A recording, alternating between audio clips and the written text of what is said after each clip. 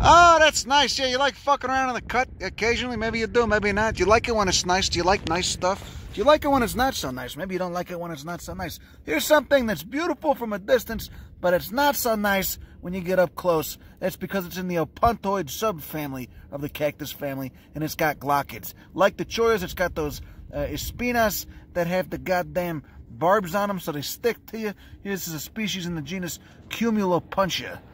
And again, it's not too nice. It looks pretty nice from far back. It does look pretty nice. But when you get up close and you touch it, that's not so nice. That's not so nice. Ah, yeah, kind of kind of holds onto your skin. Not so nice. So we're up here now, almost about 8,000 feet in the goddamn northern Atacama Desert. You can see uh, Browningia scattered in the distance uh, at uh, pretty wide intervals there. Again, completely barren goddamn habitat. Nah, I just said barren again, so I need you to punch yourself on the balls. Here's uh, your figurative balls if you don't have them. That's not, you know, define the gender binary for all you guys that uh, pay attention to that sort of thing. You know, guys, of course, being non-gender specific too. Punch yourself in the figurative balls. Here we have uh, Haageocereus chilensis. Okay, growing prostrate. Now that's prostrate, not prostate. Uh, it's got rather long spines. And uh, you know, I don't think this is in the opuntoid subfamily. I'm going to go ahead and say it's not because those areoles don't seem to have any glochids in them. Right there you got what appears to be a species of Atriplex, Amaranthaceae. Get a lot of those in the North American deserts too. This is, it's been a lot easier uh, botanizing here because there's more of an affinity between uh, South and North America than there is, you know, between uh, North America and Australia, for instance. So when I was in Australia, I had no idea what I'm looking at here. You know, I can tell what family. I've, I've not seen a plant family yet that we don't get in North America.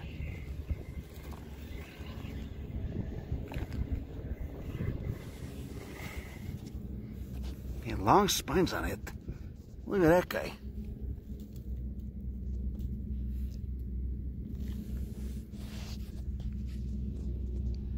Another nice thing to note about this Haageocereus is that they all seem to be growing at the base of rocks or around rocks. So this obviously here is collecting the runoff from whatever sparse rain they do get, but also uh, its roots are growing under the rock, which of course protects it from the uh, hot sun, maintains a little bit more humidity, and uh, you know makes for a little bit less transpiration uh, from those root tissues. You know, works out pretty good. Again, Haageocereus. Oh, there's a fern probably a Myriopteris. Does not look healthy. It looks pretty dry. It looks pretty desiccated. Uh, certainly a Pteridaceae, the xeric fern family. And of course you can see most of them are just gone. Species of Baccharis, it appears. There's species of uh, coyote bush. You can see nothing's flowering, you know. This is either a Cistanthe or a member of the Aizoaceae, but it's dead, whatever it is. But you can see the, the soul in them, the tomatoes, are the only thing flowering. That's because they must have very, very deep roots. I mean, roots that must go down uh, quite a few feet because they are they're doing fine. And this species uh, in particular uh, smells very delightful. You know, I mean, you know how it is. You brush up against tomato foliage, leaves of a tomato plant. You can smell it. Oh yeah, it's nice. It's very, very pungent, very glandular. Here's the fruits. There's so many species of solanum down here. Extremely successful in uh, these most dry of deserts.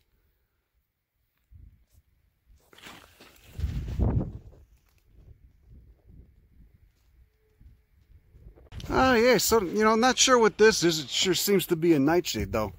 Extremely, uh, extremely glandular. Possibly another species of Nolana.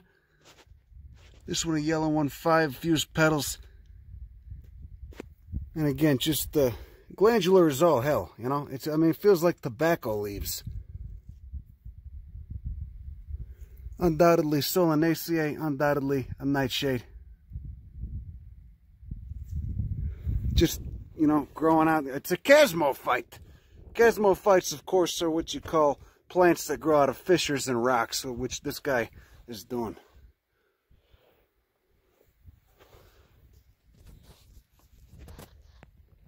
Oh, look at this. Could this possibly be a Balbisia francoaceae? Look at this guy. So what you got going on here, very highly reduced foliage. Of course, you can expect that being in a desert, want to reduce that surface area to leaf. You got the, oh, an exquisite calyx. Almost looks like an uh, evening primrose calyx. Of course, this is not that. And uh, you look in the center there, you got uh, quite a few stamens and then a five-lobed stigma. And just the it's flowering, it's flowering like hell. Well, you know, so much other stuff is dry. Look at these. Look at this imbricate. Look at this foliage right here. Look at it. Almost like a rose.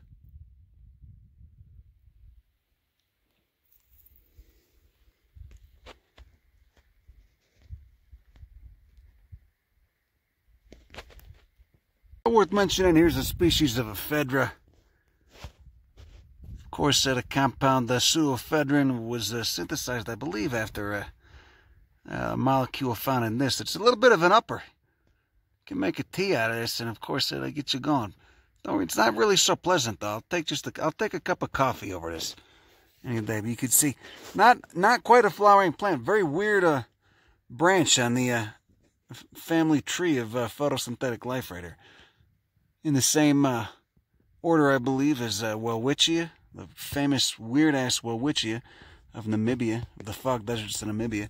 Ephedra, I believe, is uh, mostly uh, from the Americas. I think there might be a couple species in Asia, too.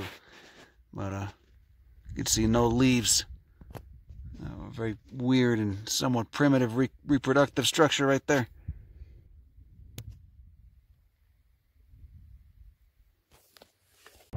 Anyway, here we are stopped in the middle of the road. They're somewhat obscuring traffic, but I talked to them. They said it's fine. They don't mind. Anyway, look at this. Uh, again, another species of Cistanthe. Again, betalain pigments. Look at the look at the pigmentation in this. Look at that color red. Compare the color red you see here with the color red you'd see in, say, a rose. Okay? Only plants in the, the order of beets and cacti, Caryophyllales, produce betalain pigments. All right? And see those tiny little flowers, tiny flowers. Most of that coloration there is from actually from the bracts. This Cistanthe has been very successful in uh, the high desert here. You can see it's also got the succulents uh, too. Montiaceae, same family as bitterroot, Lewisia, Lewisia. If you're a fan of brevity, there you go. Fucking nice. Cistanthe. Race to nowhere. Go get them. Go, hurry up, hurry up. 104 kilometers from Bolivia. Anyway, growing here on the dirty side of the road, the dirty and dusty side of the road, is a member of the sunflower family, but it's one of the more basal lineages. It's a very odd uh, uh, member of the sunflower family. It's uh, one of the earlier branching lineages, and it uh, these are not leaves. They're, I mean, I guess they are technically leaves, but they, they feel more like spines. They're leaves that have been modified into spines. Very abrasive, very sharp, pointed, somewhat painful to touch. This is Chuquiraga. And uh, something smells pretty good. I don't know if it's this guy or what, but uh, might be that guy. I don't know. Let's take a look at his corolla, though, or this uh, Pseudanthium. Is a more proper term. Pseudanthium capitula, basically just an aggregation of tiny flowers that resembles one large flower. You can see, look at those corollas. You can see the styles poking out there. Uh, how, many, how many lobes those corollas got? Five? Yeah, they got about five. I've been wanting to see this genus for a long time. I, I believe they're all pretty high elevation. I believe these are in the Barnadesia subfamily, uh, which uh, again uh, stands alone. It's the lone branch on the sunflower family tree. Uh, this subfamily lacks the uh, 21,000 base pair inversion that the entire rest of the sunflower family has. So there you go, Chuquiraga spinosa. It's fucking remarkable. What a beautiful plant. And it's kind of mean too, and I like it.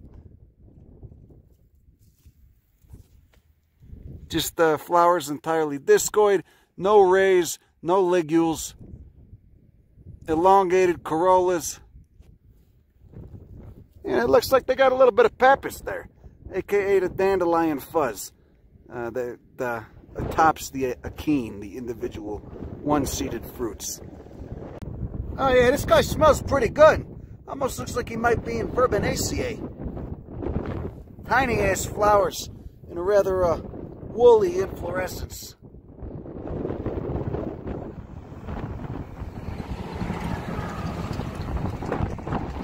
You like the smell of uh, exhaust and tire dust? Kind of reminds me of uh, Southern California. Fucking mouthful of diesel. Anyway, here's another sustain.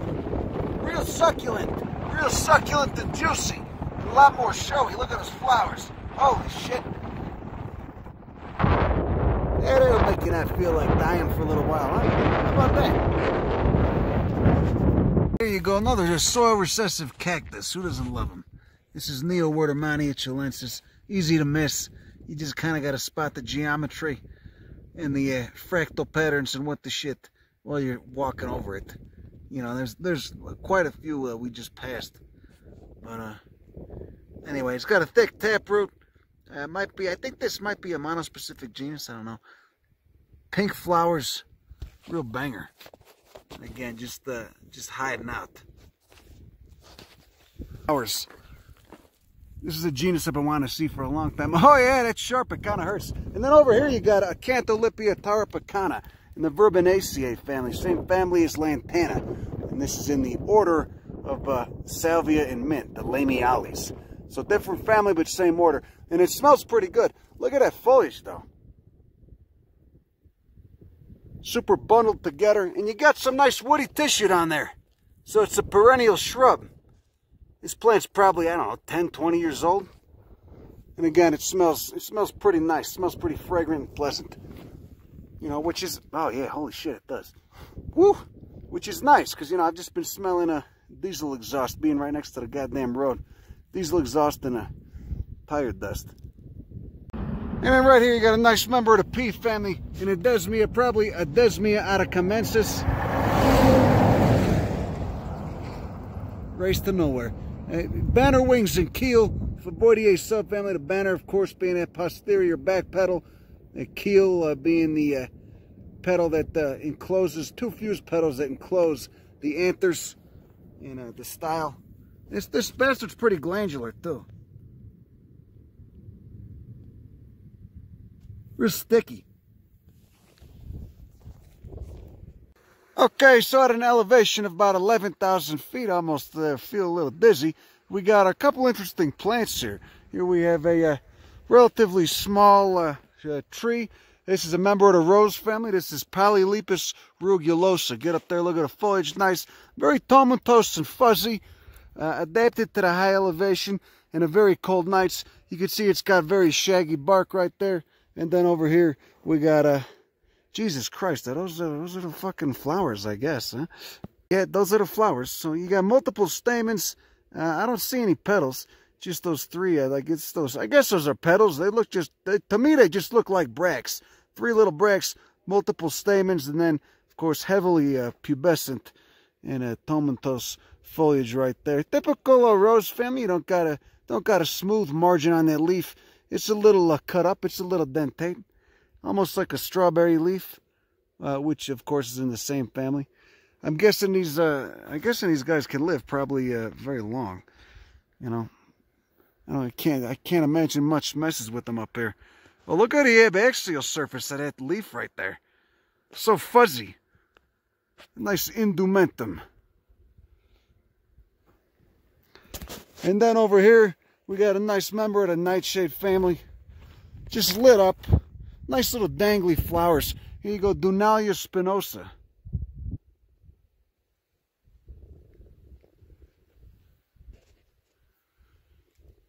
Tubular corolla, long tubular corolla, five fused petals, five stamens. And uh, of course spinosa because it appears to have modified uh, some of its branches into spines. And the foliage appears to be uh, heavily uh, uh, glandular, maybe a little, a couple hairs on her. Oh yeah, it's hairs, it's hairs and glands.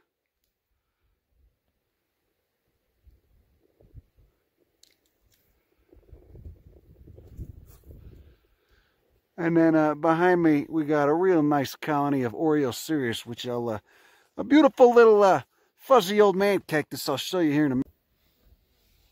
It's another uh, diminutive aster. Over here we got another discoid perennial woody aster. This is uh, appears to be probably a species of uh. Coming up right next to this uh, nice irrigation ditch. They really did a nice job with the irrigation ditch. I'm going to have to go ahead and wash my ass in this before we leave. Hope nobody's drinking of it out of it downstream. More to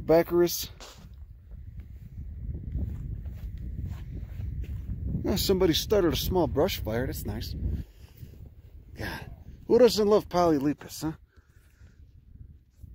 You know, I guess this is this is almost like uh, the uh, Chilean equivalent of our uh, native uh, California Cercocarpus. And here's here's the bark. Here's, here's you know after you, you get away from uh, you know you get a nice specimen of Polylepis, you get away from all the, the foliage and whatnot, a rather aging spe specimen. You could check out that that bark on it. It's pretty incredible. It's just it's papery bark, just you know occurring.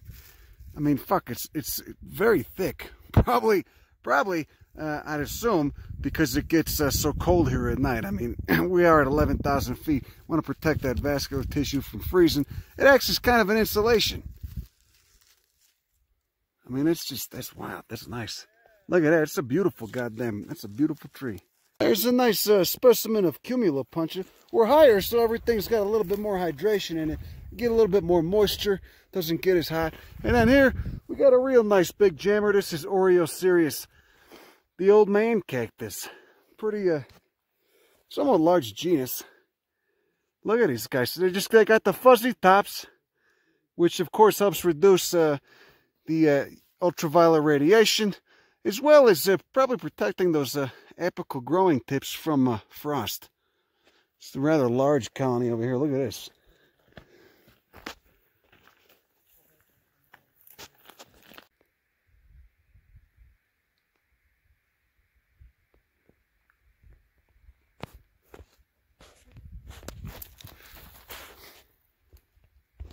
Anyway, there's a flower. An old flower. And again, these are just just trichomes, just uh, you know, mostly probably to uh, deal with the sun. I mean, we're up here at 11,000 feet. There's much less atmosphere. The sun's a lot more intense. You know, my Italian ass, I tend to be a little brown, and I've already, uh, I've already burnt the shit out of my arms. Not wearing a long sleeve like I should be. Anyway.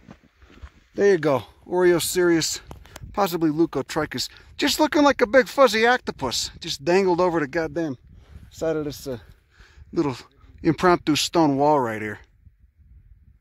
Right, here's another Desmi. Remember, that's uh, obviously a Faboideae subfamily. The uh, papilionaceous flowers of the uh, Fabaceae, the pea family. It's the largest subfamily, remember. And uh, this one has very diminutive leaves. Tiny flowers, diminutive leaves, and then branches that have just been kind of utilized as spines. All right, coming up at the base of this Adesmia, you know, pretty inconspicuous, pretty easy to miss if you're not paying attention. We have uh, one of the soil recessive cacti, and it's got the prominent tubercles. Almost looks like an Eriosyce, but this is Neowerdermannia chilensis.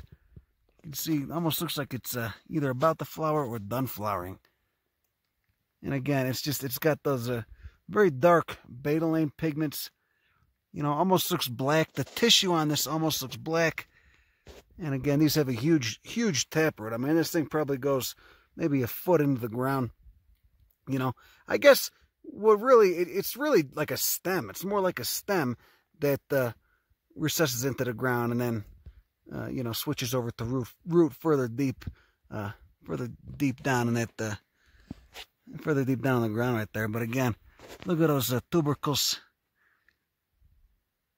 Again, looks so much like an Eriosyce, probably very closely related to Eriosyce. And easy to miss. You really got to wonder about some of the plants up here. I mean, the ultraviolet radiation is so much more intense at uh, higher altitudes. And so, you know, these plants, they must uh, be a little bit more adapted to it than uh, plants at the lower elevations. Here we go, Neowerdermannia. This is a larger one. It's actually got some fruit on it too. Just little berries. They look like little mammillaria berries. And this one's actually sticking out above the ground. It's not recessed in like uh, many, many of the other ones.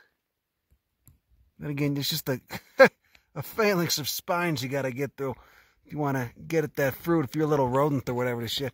Maybe a bird. You know, I bet a bird could do it. Little plump little bastard.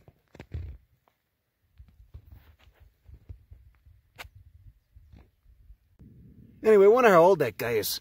But uh, broke that fruit open. Totally dry inside.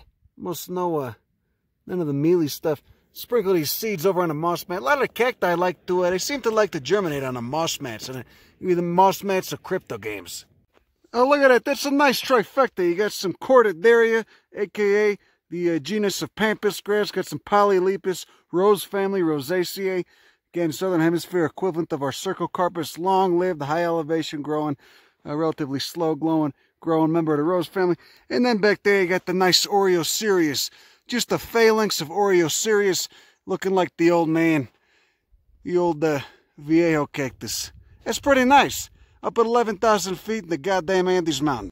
Oh, yeah, and a Barnadesia subfamily. Remember, that's uh, a, a, early branching uh, lineage, early branching branch in the Asteraceae family tree, the sunflower family tree.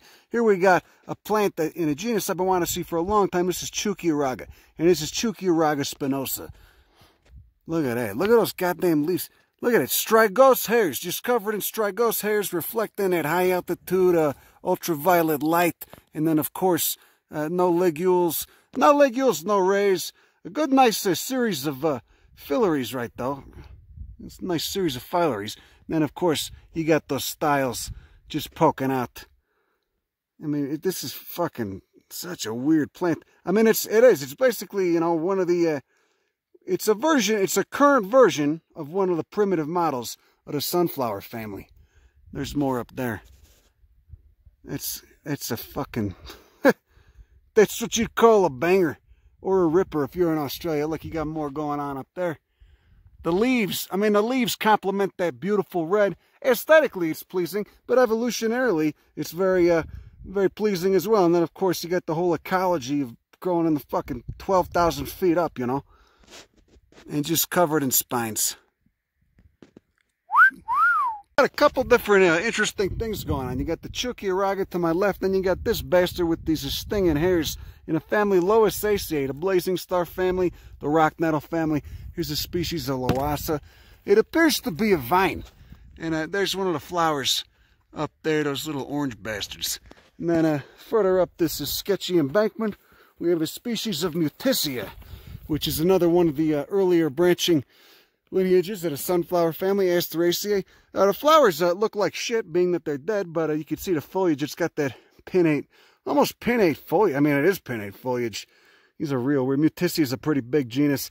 And again, it's uh, one of those earlier lineages. Not quite as early as that uh, Chuquiraga, but it is uh, is big enough. And it's an orange flower when it's going off. But I can't see any going off.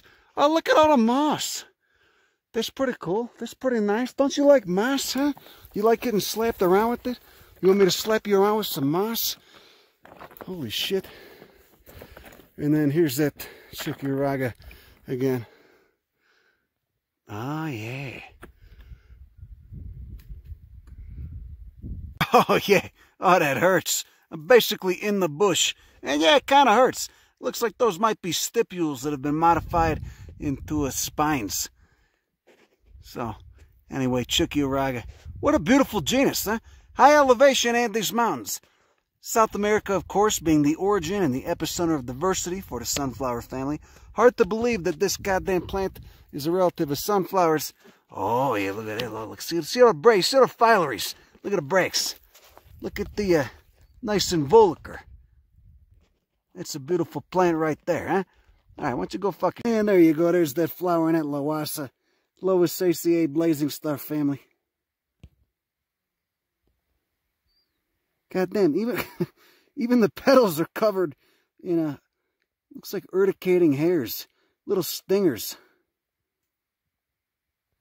You like being urticated? Would you let me urticate you? Jesus Christ. Look. this is, you know, Mentzelia is nice compared to this one. This fucker looks mean.